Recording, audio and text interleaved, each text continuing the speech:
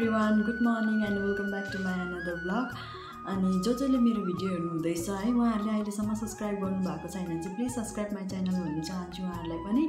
अनि सो आज चाहिँ म बोजू र म चाहिँ हस्पिटल जाँदैछ किन भन्दा चाहिँ बोजूको चाहिँ पुरा दाँत चाहिँ किराले खाएर चाहिँ दुखेको रहेछ होइन? अस्ति डक्टर देखाउँदा पनि डक्टरले खोल्नुपर्छ भन्नुभएछ। अनि सो आज चाहिँ आज सो आज चाहिँ डक्टरले खोल्नु बोलाउनु भएको छ। अनि त्यसै कारण बुझेर म चाहिँ हस्पिटल जाँदैछ दाँत खोल्नुको लागि है?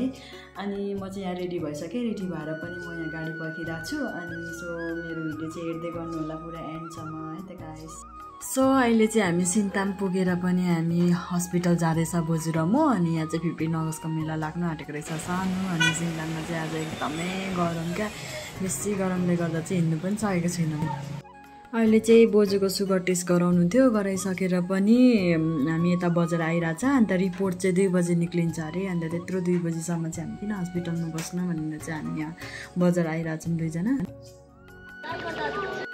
एभ्री वान अहिले चाहिँ म घर आइपुगिसकेँ घर आएर पनि बस खानाहरू खाएर बसिरहेको छु क कति बेला आइपुगेको भन्दा चाहिँ अब छहरू बजेको थियो होला म घर आइपुग्दाखेरि अनि अहिले चाहिँ खानाहरू खाएर चाहिँ सात बज्यो।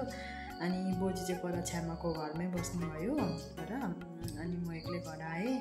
अनि आज चाहिँ खासै चाहिँ बोजूको दाँत खोल्नु गएको थियौँ अनि बोजूको त्यो सुगर टेस्ट पनि गराउनु थियो। अनि सुगर टेस्टको रिपोर्ट चाहिँ ढिलो निक्लेको कारणले चाहिँ आज दाँत खोल्नु चाहिँ ढिलो भयो बोजूको। त्यस्तै तिनहरू बजेको थियो रिपोर्टहरू निक्लिँदा अनि ढिलो भयो। अनि त्यही कारणले चाहिँ अब फेरि हामी पर्सि जाँदैछ। डक्टरले पर्सि बोलाउनु भएको छ। दाँत खोल्नु चाहिँ दस बजी। अनि आज चाहिँ एकदमै गरम थियो। अर्को कुरा चाहिँ सिङताममा पुरा बेसी गरम थियो होइन?